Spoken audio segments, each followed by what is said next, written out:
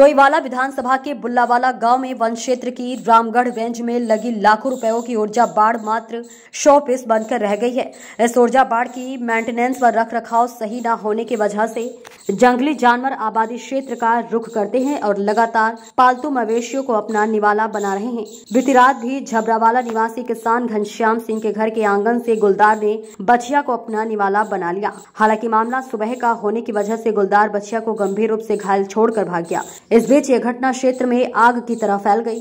इस घटना से ग्रामीण दहशत में है कि कहीं जंगली जानवर किसी इंसान पर हमला न कर दे। इस मामले को लेकर पूर्व प्रधान परमिंदर सिंह ने कहा कि वन विभाग की लापरवाही की वजह से इस तरह की घटनाएँ घट रही हैं और वन विभाग द्वारा जंगल किनारे लगाई गई लाखों रुपयों की ऊर्जा बाढ़ मात्र शो पीस बनकर रह गई है। हम लोग यहाँ पर पेट्रोलिंग कर रहे हैं, क्योंकि राजाई राष्ट्रीय पार्क की सीमा से लगा हुआ क्षेत्र है। और ये राजाई राष्ट्रीय पार्क की सीमा से बाहर का जो एरिया है लच्छी वाला रेंज देहरादून वन प्रभाग के अंतर्गत आता है। हमने इसकी सूचना उच्च अधिकारियों को दे, दे दी है और इसका शीघ्र ही कोई निदान उच्च स्तर से किया जाएगा। देखिए ये राजा जी राष्ट्रीय पार्क से लगता हुआ क्षेत्र होने के कारण राजा जी राष्ट्रीय पार्क से जो ये गुलदार वगैरह है ये आबादी क्षेत्र में आना शुरू हो गए हैं और कई बार इन्होंने पहले भी दो तीन बच्चियों को निवाला बना लिया है। हमें सबसे बड़ा अफसोस ये है कि हम जब भी फ़ोन करते हैं राजा जी राष्ट्रीय पार्क के वन क्षेत्र अधिकारी को फ़ोन करते हैं वो कहते हैं कि लच्छी वाला वन क्षेत्र अधिकारी का मामला है। और लच्छी वाला वन क्षेत्र अधिकारी को फ़ोन करते हैं, वो कह रहे हैं, राजा जी, राष्ट्रीय पार्क का मामला है।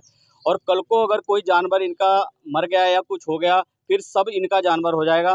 फिर ये नहीं कहेंगे कि पार्क का है, कोई कहेगा, ये नहीं कहेगा, कोई लच्छी वाला का है। तो हम ये कह रहे हैं कि हमारी समस्या का निदान कर दिया जाए। आज सिर्फ़ बच्चों, बच्चिया को निवाला बनाया जा रहा है, लेकिन कल को अगर जानवरों के ऊपर हमला हुआ तो इसके बहुत गंभीर परिणाम होंगे। इनका घनानंद उनियाल जी को हमने फ़ोन किया, उन्होंने कहा, मैं भेजता हूँ। डी त्रिपाठी जी से बात करी, हम भेजते हैं, परंतु मौके पर कोई भी जो है इस बछिया को ट्रीटमेंट देने नहीं पहुँचा। हाँ हकीकत यह है कि ये पिछले रात की घटना से लगातार तड़प रही है और जीवित है। तो हम लोग ये चाहते थे मानवीय दृष्टिकोण से, गाँव की लोगों की भावनाएँ और पब्लिक की भावना यही है कि इसको उचित ट्रीटमेंट मिलता तो हो सकती थी ये बच्चिया बच जाती। परंतु संडे का दिन है अधिकारी कोई फ़ोन उठाता है, कोई नहीं उठाता। इतना सब होने के बावजूद मैंने माननीय आदरणीय हमारे विधायक बिजू कृष्ण गहलोत जी को फ़ोन किया। तब गहलोत जी ने डीएफओ साहब को फ़ोन किया है। अब कुछ हमें उम्मीद जगी है कि हमारे विधायक जी इसमें कुछ हस्तक्षेप करेंगे तो निश्चित ही कुछ न्याय मिलेगा और मुझे लगता है